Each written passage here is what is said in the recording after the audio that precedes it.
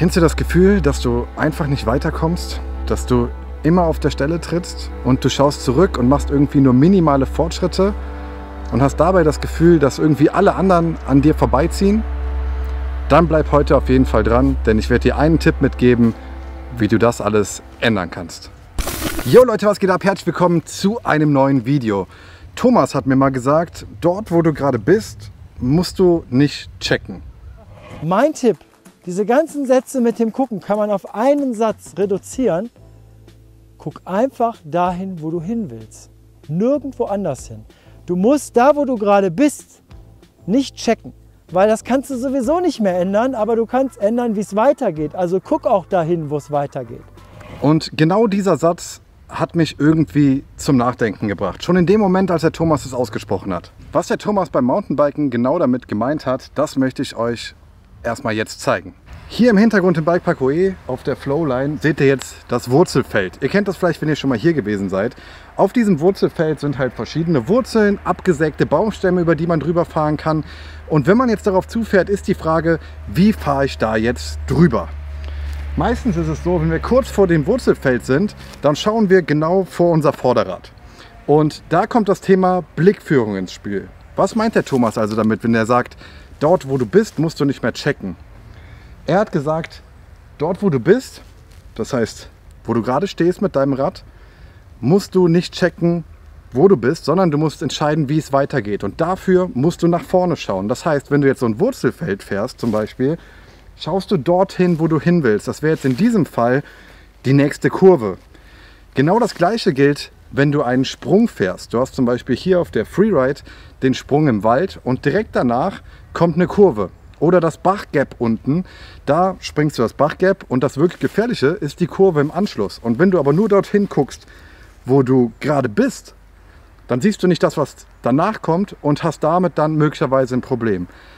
Außerdem musst du einfach lernen, deinem Bike unter dir dann so zu, zu, zu, vertrauen, das Fahrwerk arbeiten zu lassen und so weiter. Aber das sind wieder andere Basics. Vielleicht ist es euch schon mal passiert, vielleicht aber auch nicht, dass ihr genau dahin schaut, wo ihr eigentlich nicht hin wollt. Zum Beispiel der Baum oder der Ausgang der Kurve im Anlieger. Wenn man nicht zum Kurvenende guckt, sondern über den Anlieger hinaus, dann fährt man öfter genau dorthin, wo man eigentlich nicht hin will.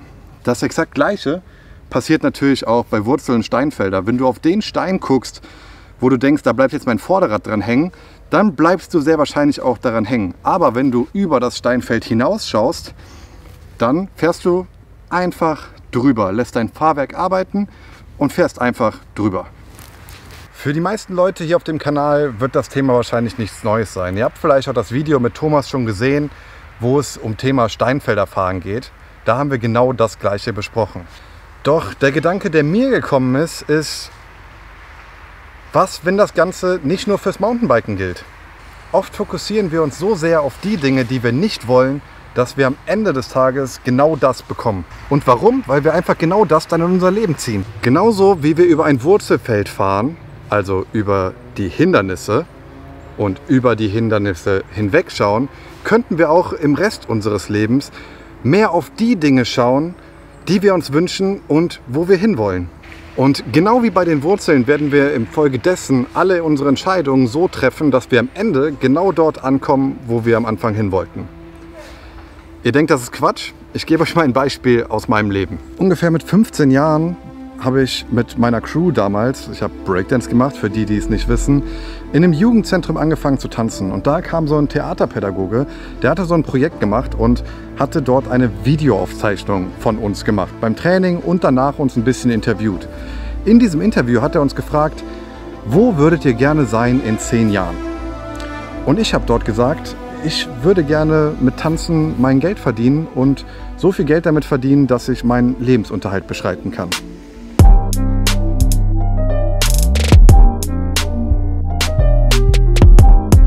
Gesellschaft, die möchten halt gerne alle so, dass alle gleich sind. Alle haben am besten auch irgendwie ähnliche Arbeitszeiten und ein geregeltes Einkommen und die mögen das, wenn alles uniform ist.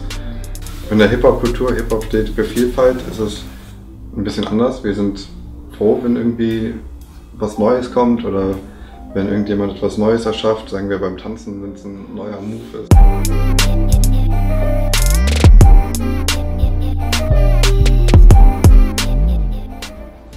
Und genau zehn Jahre später, also mit 25, ist genau das eingetreten. Ich war mit Mitte 20 an dem Punkt, dass ich eigentlich nur als Tänzer mein Geld verdient habe, unterrichtet habe, Shows getanzt habe, Choreografensachen gemacht habe und habe einfach als Tänzer mein Geld verdient.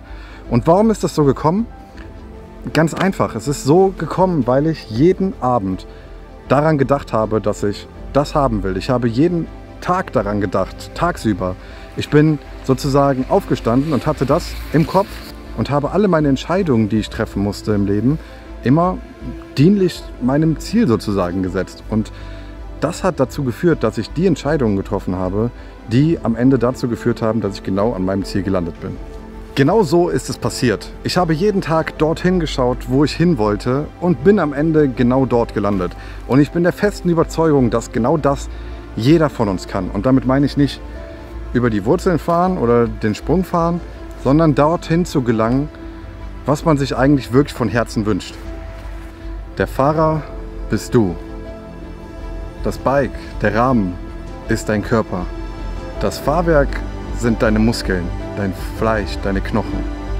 Das Leben ist der Trail. Und die Line, die du fährst, entscheidest du. Und wo genau es hingeht, entscheidet allein deine Blickführung.